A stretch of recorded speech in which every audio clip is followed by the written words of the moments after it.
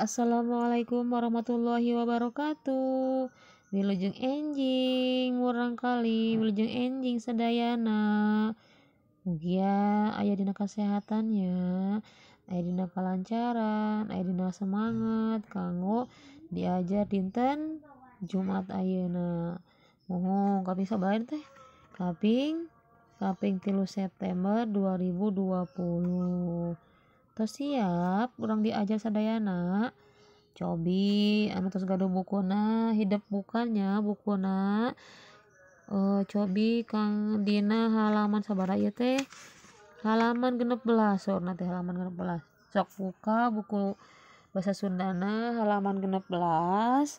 Orang diajar netenan kanggo kalimat pangajak. Kalimat pangajak teh kanggo naon sorna teh kalimat pangajak teh nyaeta kangge ngajak orang sadayana kanggo e, ngalaksanakan sesuatu. Misalkan intinya kalimat pengajak tuh kalimat e, mengajak seseorang melakukan sesuatu.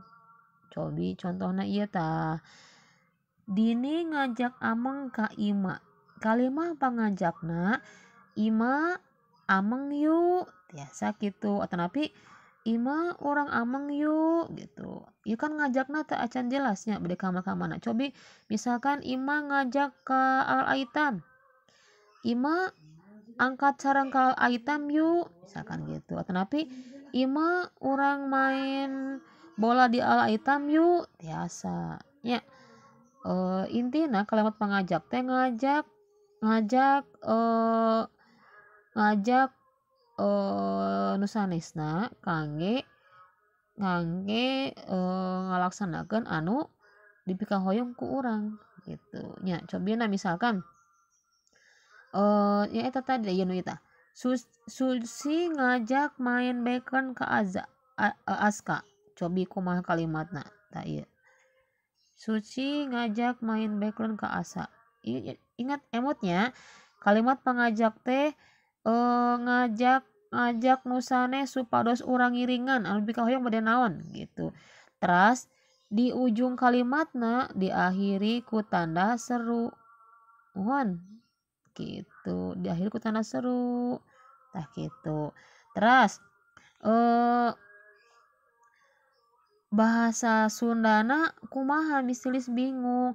Ini sama seperti anak-anak kalau mengajak main ke temennya cuma dalam bahasa Sunda gitu. Ya uh, aku bingung nanti. Nggak apa-apa sebisanya apa? Cari. Kalau misalnya selalu selalu selalu selalu mengingatkan anak-anak cari kalimat intinya apa. Contoh kayak tadi kan ini ameng. Ya udah we dipakai lagi kata amengnya gitu. Ima kurang ameng yuk. Nah gitu tiasa. Eta enak uh, ngajak main main backland eh main backland berarti apa kalimatnya ngajak cobi nak kumaha sok atuh ku kumisili sobian hijinya nomor hiji ta. Susi ngajak main main background ke Asga. Nah kumaha kalimat mengajak nacing aya terang te uh, Rido atanapi uh, saya teh hilap deh misalis teh. Uh, Adit atanapi Kakang Naufal. Nah cobi Aska. Emotnya Susi Susi ngajak main backland ke Aska.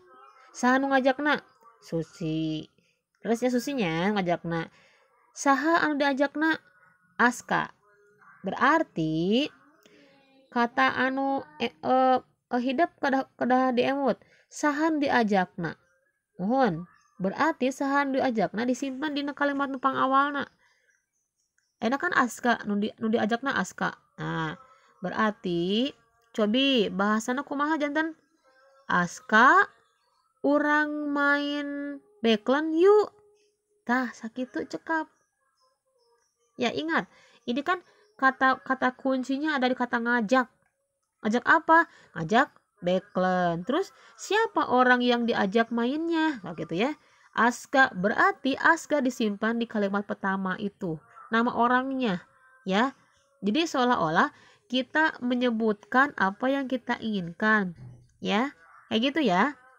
Misalkan eh apa Miss nih Miss nyuruh misalkan nyuruh ke Rido Rido uh, mau disuruh uh, mau mau Miss ajak ke uh, pergi ke perpustakaan misalkan Rido orang ke perpustakaan yuk. Nah gitu. Ya atau misalkan ada bunda. Bundanya mau ngajak anak-anak uh, berkebun. Misalkan. Misalkan ngajak ke uh, Amira. Amira kita berkebun yuk. Nah itu kan kalau bahasa Indonesia. Amira orang melak tangkal cengek yuk. Nah gitu.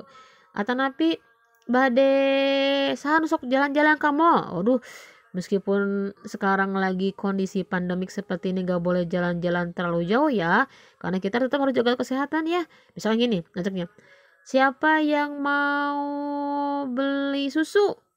Pasti banyak yang suka kalau mau jalan-jalan. Ya. Nah, gini, gimana uh, ayah Bunda bilangnya uh, untuk ngajak ngajak jalan uh, beli susu? Nah, gimana? Misalkan misalkan nih ke Patan misalkan. Patan orang ngagala susu yuk Nah, gitu. Intinya jadi uh, siapa yang diajak bicaranya dulu, siapa yang kita ajaknya dulu, disimpan di kalimat pertama. Kemudian diakhiri dengan kata yuk dan dengan tanda seru. Bisa? Pasti bisa lah ya. Bisa insya Allah, insya Allah pasti bisa anak-anak. Ini simple ya. Karena apa? Sebetulnya kalimat mengajak itu udah biasa untuk keseharian. Kayak adek ke kakak. Uh, ada kita main main uh, kelereng yuk bisa. Basunanya kita basunanya misalnya oh dek orang main kaleci yuk. Nah gitu. Kaleci sama kelereng sama ya. Basunanya dengan benda yang sama ya. Oke intinya gitu ya. Jadi uh, dengan ada kata yuk kemudian akhir dengan tanda seru. Gitu ya nah ini nomor dua. Dani ngajak jajan Ciloka Rita. Sok mangga kumaha sorna teh eta bahasana. Teras e, nunu ngajak ngalongok ita ka intan. Mangga cobian kumaha ngadamelna? Ria ngajak Tia ngerjakan PR bahasa Sunda sasarangan. Barangan sasarangan saminya sami. Teras Nia ngajak ucing-ucingan ka Eva. Nah, misulis menisuun menisuun tusur mung opat dan nomor hijina kumis tusuk tusuk cobiannya. Tusuk cobian ada ah, amal kalimatna ayeuna cobi damalkeun deui ku hidup bade bade nu kumaha seratanana mah enggak telangkung. Eh uh, kumaha atuh tetiasa mangga tiasa nelpon nelpon ka wali kelasna masing-masing oh pamit acan ngartos. Atanapi tiasa naros ka sepuh masing-masing ka ka ayah buna tiasa nyari sok naroskeun itu hartosna naon itu maksudnya naon tiasa. Tapi misalnya yakin anak-anak udah hebat pasti bisa yakin ngerjain. Kalau untuk mengajak itu paling jago anak-anak apalagi membujuk. Ya eh uh, pasti jago. Membujuk biar biar anak-anaknya oh yang diinginkan sama ayah bundanya ter, uh, terkabulkan. Pengen ini pengen itu pengen ini pasti. Gimana aja caranya biar ngebujuk biar ayah bundanya mau? Ya misilis yakin anak-anak paling jago nih kalau mengajak. Ya sekarang ditranslate ke dalam bahasa Sunda. Oke pasti bisa. Ya misilis yakin anak-anak pasti bisa. Oke berusaha dulu semaksimal dulu. Dan paling penting itu kerjakan dengan hati yang senang ya. Karena apa? Kalau dengan diakhiri dengan kita kalau dengan kita meng, e, mengerjakan sesuatu dengan hatinya senang hatinya nerima kemudian kita ikhlas yakin pasti bisa ya. Karena kalau nggak bisa kalau yang namanya nggak bisa berarti ada upaya untuk melakukan sesuatu yang namanya nggak bisa berarti ada sebuah pemikiran bahwa kita ingin bisa. Dengan cara apa? Dengan cara bertanyakan dulu dengan cara berusaha dulu maksimal mungkin ya. Oke, hatur nuhun kanggo dinten ayeuna. Mugia anak-anak sehat sadayana ya.